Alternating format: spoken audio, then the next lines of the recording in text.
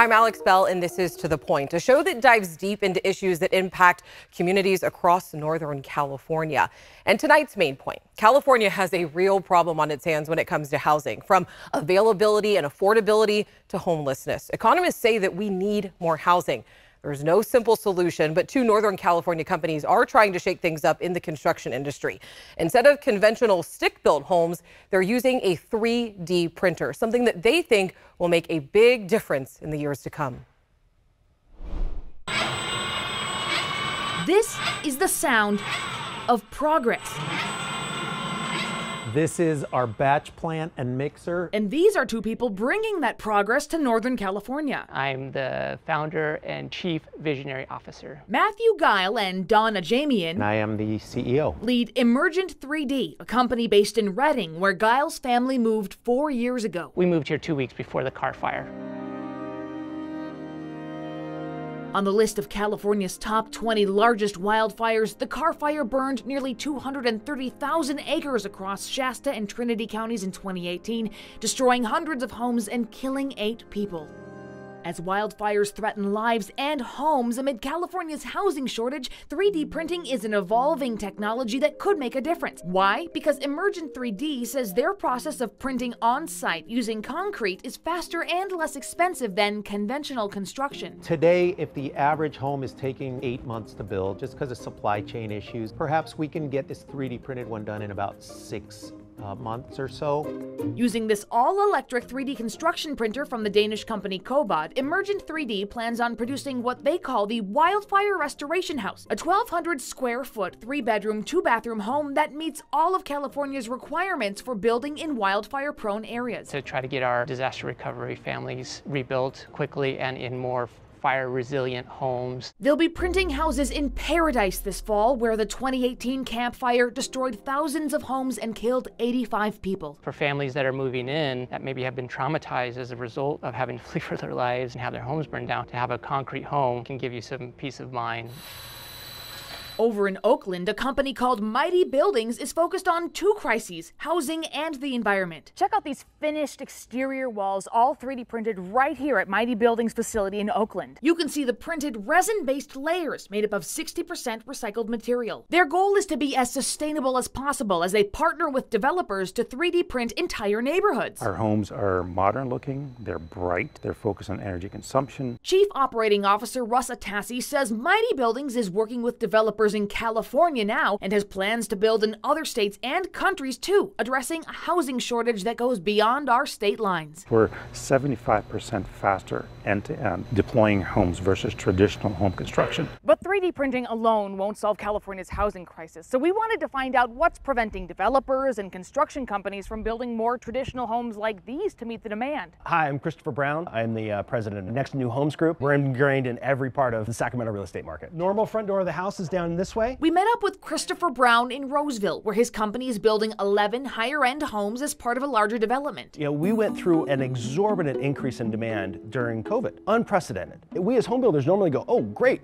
we're going to build more homes this year. Well, we didn't have materials and we didn't have any labor. The price of lumber alone, that's over 60% higher than the 25 year average. That goes into the price of the house. Plus, he says the permitting process can take years, and those fees drive up costs too. The North State Building Industry Association estimates an average of about $95,000 in fees per house in the Sacramento region and $55,000 throughout other parts of the Central Valley. Every time we raise prices and we're building a home for $500,000, people have to understand what went into that that is probably about $490,000 worth of cost. There's that little bit left over. If you understand that, you know, that helps to understand how do we fix things in California.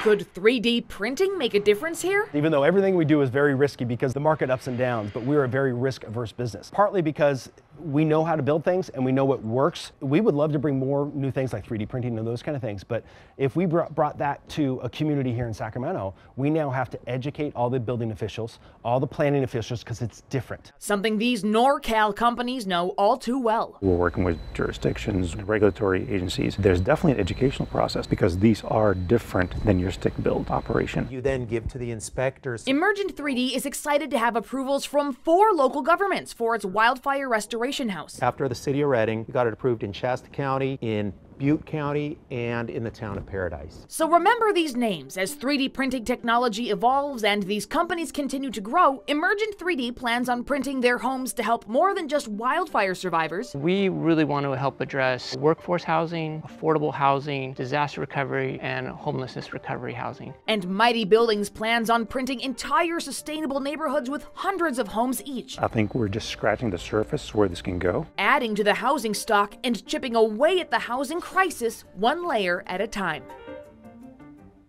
You know that wildfire restoration house can be printed in 31 and a half hours. But the reason it takes about six to eight months to deliver is because there are still so many conventional construction components in these homes, like electricity, heating, plumbing, roofing, things like that. But printing the walls definitely makes a difference in the time. And you know, you hear 3D printing, but like to see the visuals, it's like, oh my goodness, it's pretty amazing. It's mm -hmm. amazing. But what about the price of these homes? Are they affordable? What are we looking at? It depends on the company, right? Uh, Emergent 3D, the Redding folks, they say that people can save about 11% on a home of the, you know, the same size conventionally built, um, but they anticipate that savings increasing as the technology improves, up to 20%, they say. Now, Mighty Buildings in Oakland says their costs are about on par with a house of the same size, but they anticipate people uh, saving a lot on heating and cooling because of how sustainably built their homes are. And some people hearing this, they might be wondering, is 3D printing going to be taking away from construction jobs? Because now you have a machine doing what normally a person would be doing. Yep, that is a great question. You know, I asked Emergent 3D that, and they said that they're seeing more people leave the construction industry than come in. And so uh, the technology of 3D printing could help them leverage an already depleted workforce. But of course, I wanted to check in with a more neutral third party, right? So I reached out to the UC Berkeley Labor Center to ask those same questions. They said that First of all, it's too early to tell. The technology is still too new. There haven't been a lot of studies done at this point. But they also said that technology can replace tasks, not necessarily jobs, and that it could ultimately make the construction workforce more productive. So, again, we will see as this evolves. And a, a quick question before we go here what about insurance? Will people who buy these homes be able to insure them? That is an important question. We know homes built in the wildfire areas, the prone areas are uh, hard to insure. Emergent 3D says they have connected with an insurance company who has said, yep, you check the boxes and all the wildfire resistant needs, uh, we will insure you. So that is very important. And I also want to mention Becca is our lead reporter here on To the Point. So you're going to be seeing a lot more of her. We cannot wait to share what she's been working on. But really quickly here, Becca, how, people want to reach you, how can they do that? Yeah, if you have a story that you think needs diving deeper into, I'd love to hear from you. Reach out to me on Facebook or on Twitter. My handle is Becca, B E C C A, reports. All right, Becca, thank you so much. We appreciate it. Thanks, Alex. And thousands of Kaiser Permanente mental health care workers are on strike. We're going to get into what they're demanding and why there is a bigger issue across the state. Thousands of Kaiser Permanente mental health care workers are now on strike in Northern California and the Central Valley. Negotiations between the National Union of Health Workers and Kaiser fell through on Saturday. Psychologists, social workers, family therapists, and chemical dependency counselors are all impacted by this. And one of the union's claims is that there is a shortage of staffing and long wait times for patients. They say Kaiser did not have a plan in place to comply with State Senate Bill 221 it's a new law designed to make sure that mental health care patients get treated in a timely manner. Now, the law requires insurers to schedule follow up appointments within 10 days of recommended by a therapist. One patient that we heard from today said that he waited weeks to meet with someone. Almost two months, yes. And that's after I was actually settled with the therapist. I was told that I would have seven to uh, uh, seven or eight weeks between each appointment. And did they give you a reason why the length of time is so? They said that's just what Kaiser does. This is what we offer, take it or leave it. The state is currently working into whether the company is providing adequate mental health care for its members. Meanwhile, Kaiser says that the implementation of SB 221 to their services is well underway and that they are meeting regularly with the state for guidance. Now, Kaiser adds, quote, despite a national mental health workforce crisis in the midst of a global pandemic, we added nearly 200 net new clinicians in California between January 2021 and June 2022.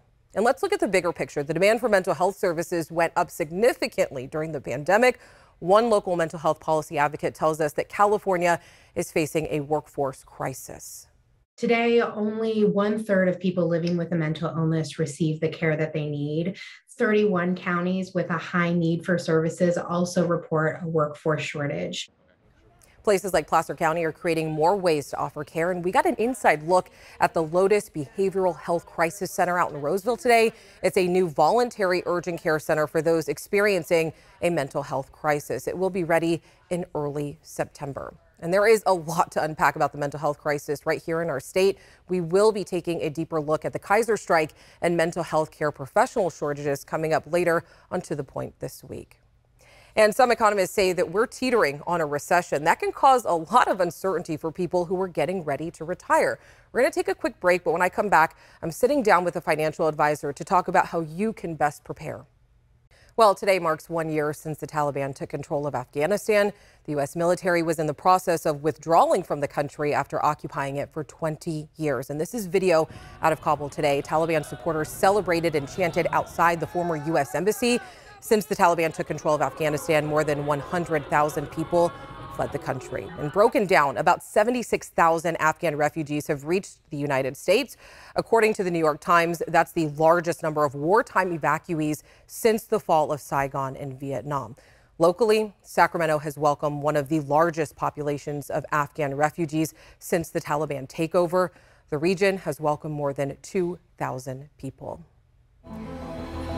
Well, a new study from UCLA shows that climate change is increasing the likelihood of a mega flood hitting in the next 50 years. Yeah, you heard that right. These are renderings of what Sacramento, Fresno, and Los Angeles could look like in the years to come. The flood could turn California's lowlands into an inland sea, and simply put, these cities could really be underwater. Researchers say that this so called mega flood hitting California could have doubled, and this wouldn't be the first time this has happened in Sacramento. The Great Floods of 1850 and 1862 left Sacramento completely underwater, leaving cities and its levees just destroyed. So let's really hope that history does not repeat itself. But we want to get things over to Monica because the more imminent threat right now is this heat. We've seen that triple digits all day, Monica. Yes, we have certainly. As far as our Gilmore backyard right now, still very warm as we're heading into this late Monday evening, our afternoon and early evening, I should say. Our temperatures still around 100 degrees. We've got light winds, sunny skies, 81 for Tahoe right now with sunshine, but we're looking for the chance of thunderstorms for this year starting tomorrow and taking us through Thursday.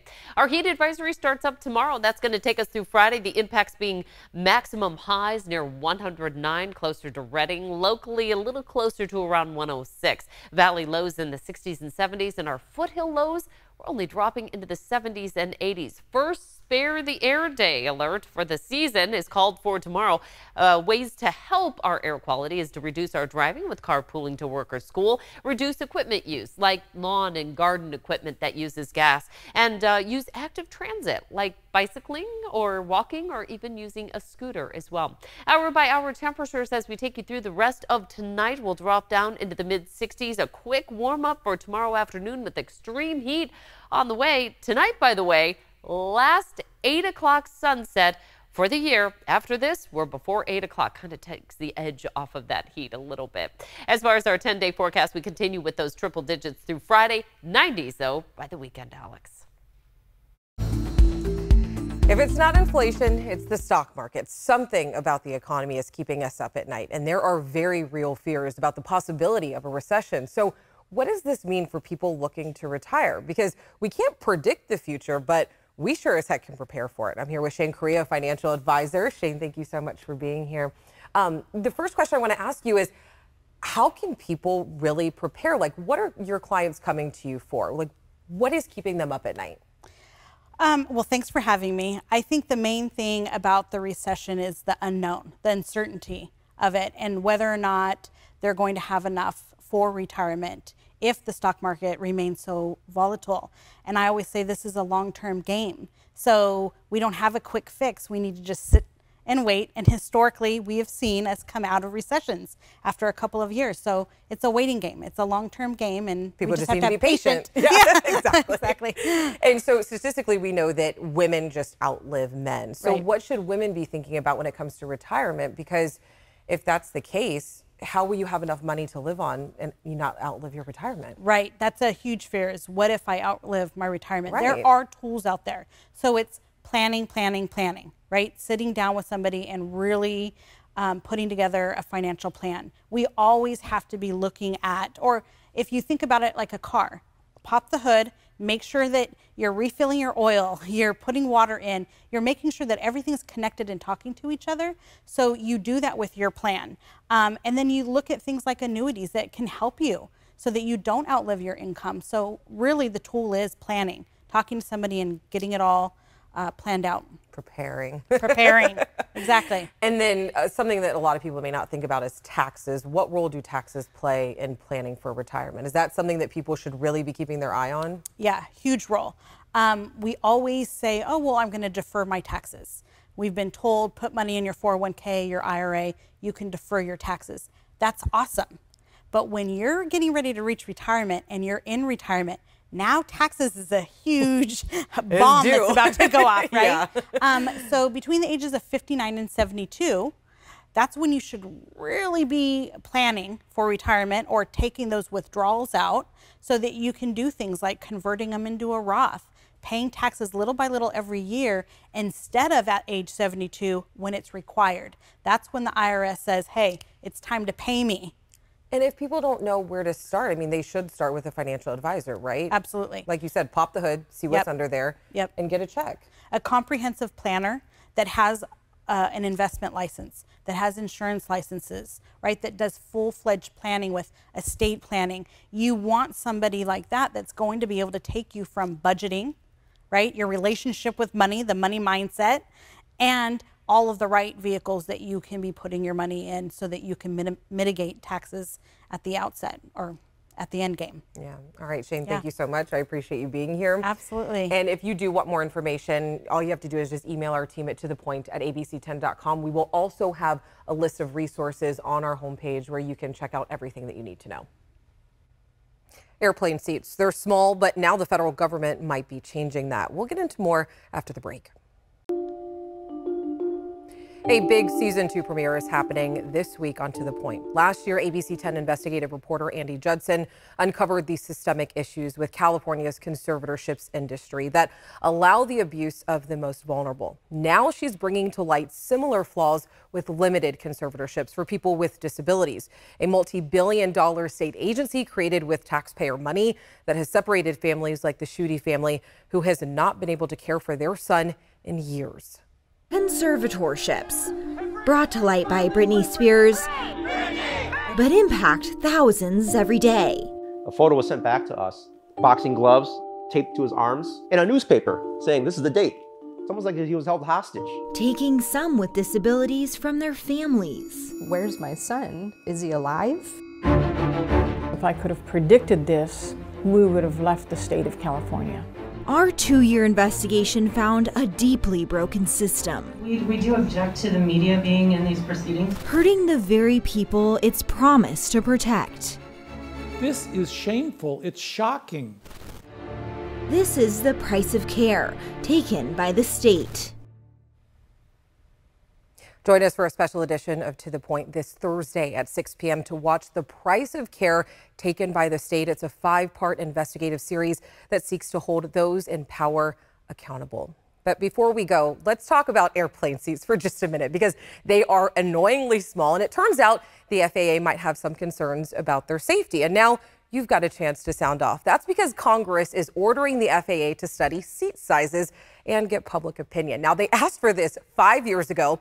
Obviously, that didn't happen, but I mean, hey, better late than never, right? They're looking for people just like me and you to read through 68 pages of this, what you're seeing on your screen right now. It's detailing how long it takes to evacuate a plane. So if you've got time to review a few things like anthropometric chair measurements, I'm sure the FAA would be thrilled to hear your comments. And if you really are interested, we do have the information on our website, abc10.com slash links. And who knows, Maybe you can make flights safer and inadvertently get us some bigger chairs in the process. Not a bad thing. All right. Thank you so much for spending your Monday evening with us.